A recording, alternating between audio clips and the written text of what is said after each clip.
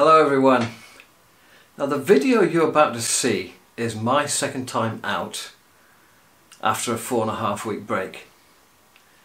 So I'm going to assess my game and see what's going wrong. You might agree with me, you might disagree with me. What I'd like to see is some more comments from you guys telling me what you think and have at it. If you think I'm doing something wrong, say so. I'm not going to be offended, I'm not going to be upset by it. But how do you assess your own game when you don't have a camera? Well, you do have a camera. You got a phone. Almost everybody has got one of these phones. So put it on video, put it on slow motion, and then you'll be able to see, you know, get your mate to record you making half a dozen swings or ten swings round, round the golf course with different clubs. Put it on slow-mo and then you'll be able to see your positions, you'll be able to see where you're aiming. Now what you're going to see of me in this video is pretty disgusting. And I've already spotted quite a few errors while I've been editing it. Now the, it is greens maintenance wheat, so they've been hollow tined, they've been sanded, and the grass is growing through. So they're slow, they're lumpy and bumpy. So we'll forget about the putting and we'll forget about when I've chipped on and it's just pulled up a long way short. So let's just stick with the golf swings and as I say, have at it, don't be afraid, get stuck in. Cheers! So here we go. If you're going out on the course with a friend, with your phone, you might want to record those tee shots that you have trouble with, or greens that you struggle to hit. This is a voyage of discovery, not an opportunity to beat yourself up. So for instance with that shot, I got everything right and then forgot about the wind. I should have been taking more club. But it was a good shot. It did exactly what I thought it would. Ball slightly above my feet. A bit of a one yard draw. Now greens maintenance is going on. And we're at the point where it's holotined and sanded and now the grass is growing through. And they're giving it a chance to grow before they cut it. 90 yards gap wedge out the rough downhill landing on a downslope. There's nothing I can do about this to actually stop it by the hole. So I'm not going to beat myself up for the fact that I landed on the downslope and it released a long way past. And as you can see, when the greens are a bit slow and a little bit bumpy, I struggled to get the ball to the hole and then in the hole. Now I was aiming left there and my shoulders were even further left. I was allowing for the wind, but I certainly didn't get it right. So that's the first fault I've spotted. I'm a little too open and my shoulders are open to that.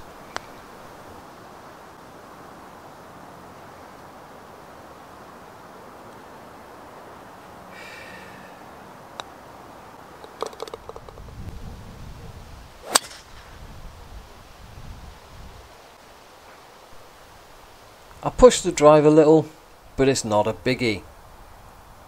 I'm standing open here because I am trying to get into the back of the ball steep and get some height out the rough. And I've failed to do that, which isn't surprising. You don't always get the contact you want out the rough.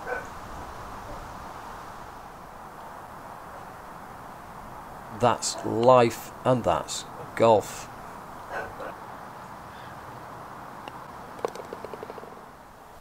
Well, here is my big fault. I bow the left wrist on the takeaway. The club head gets behind me. From there, there's absolutely no way I can square it up. So it's a little thin, it's out to the right, and I'm in bother. Now I've had this fault a very long time. I've got some video of me from 2011 where I'm doing exactly the same thing. All I can do is go and see Matt, get some instruction, and work on it and try and minimize it as much as possible.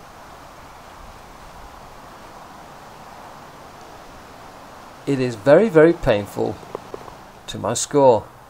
Here we go again with the driver. I've got a huge gap between my arm and my chest, and the wrist is bowed.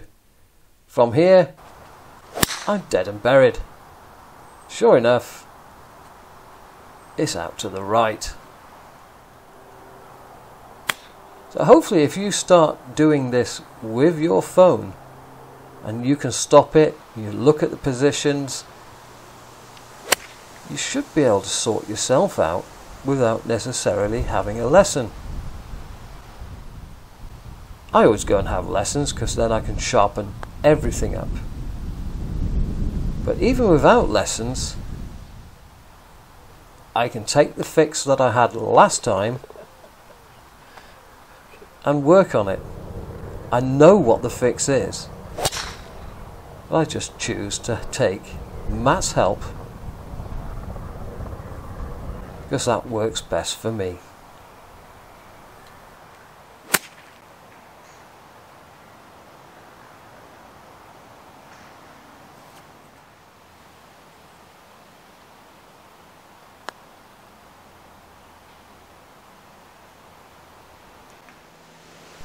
The only way to figure out if I've got enough length to get over the pond, whether my speed is back up to normal or not, is to try and get over the pond with an old ball. And I didn't. A nice six iron into perfect position. That's a good shot. 83 yards with a sand wedge is a bit of a stretch.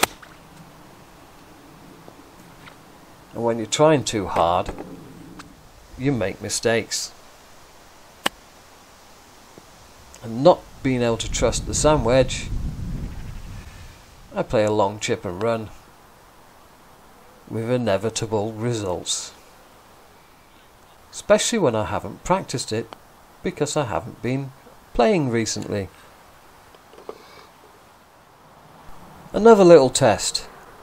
Can I hit my one yard fade with the 7 iron? And the answer is yes. So the takeaway that time must have been an awful lot better. And it's nice to be able to hit a proper golf shot rather than the rubbish I have been.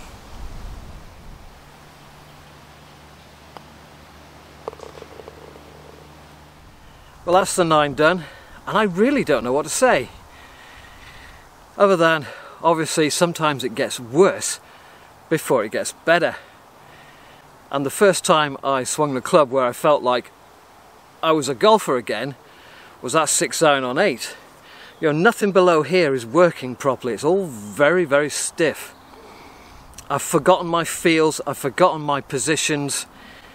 It's time to get on that phone and give Matt a ring get that first lesson in and I think it's time for me to work on flexibility as well get this body rotating better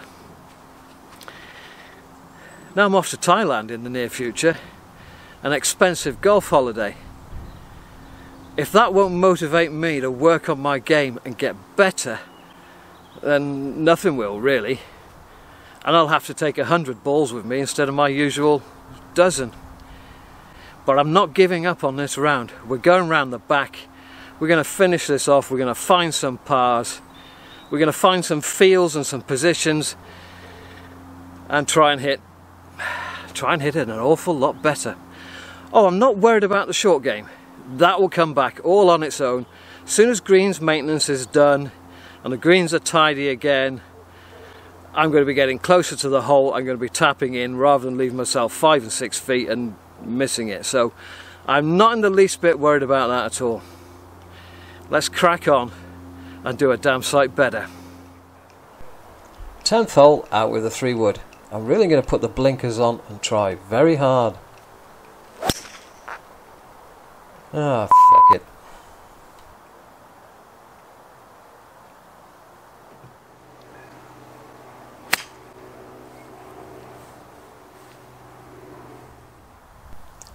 Well, this is one of the better ones. Pitching wedge, ball below the feet. Very nice, clean contact. And into the green. So you get to pat yourself on the back as well as beat yourself up. But then we shouldn't be beating ourselves up when we're on this voyage of discovery. 176 playing about 195. 20 degree hybrid. Absolutely nutted. No complaints. Can't say the same about the putting.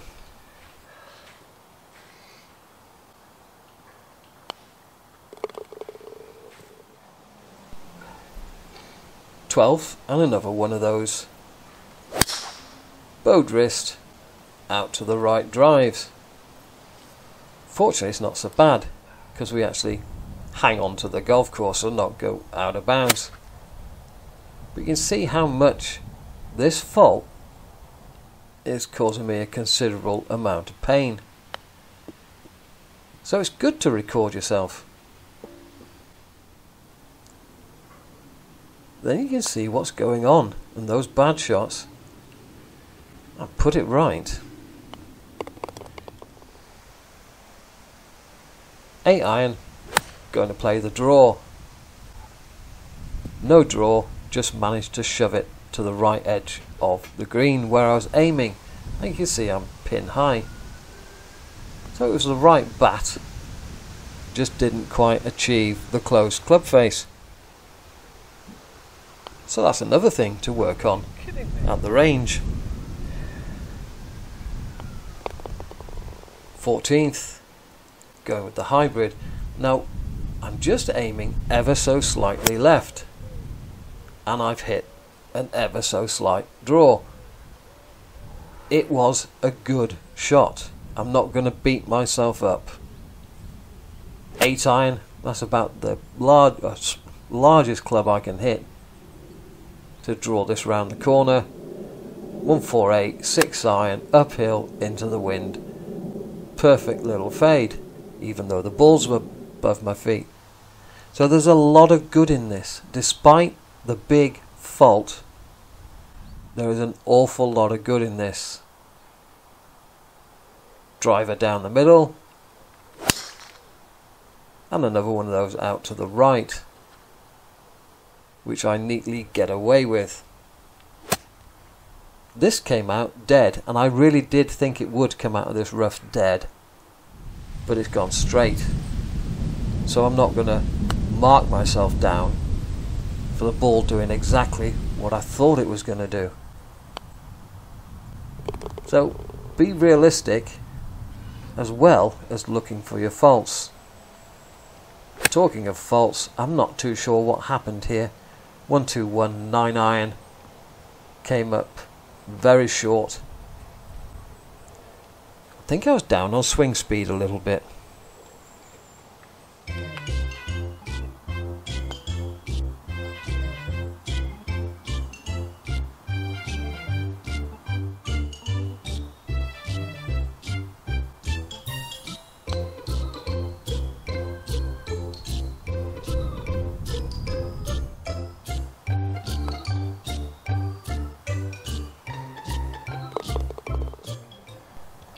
Three wood at the right hand greenside bunker.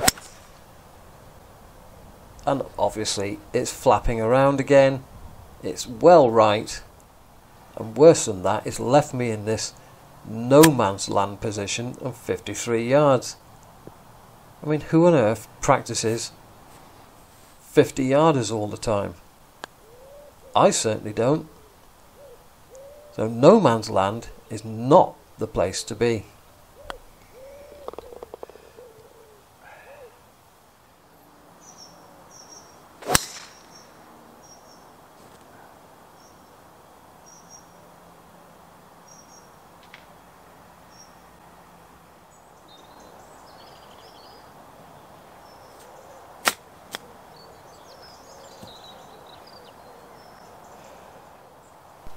Well, after a poor tee shot, at least this one is decent. It's a bit long, but it was decent. And then I follow it with a complete whiff of a chip. Well, that's my assessment on my game. I know what I've got to do. What are you going to do with yours? Cheerio.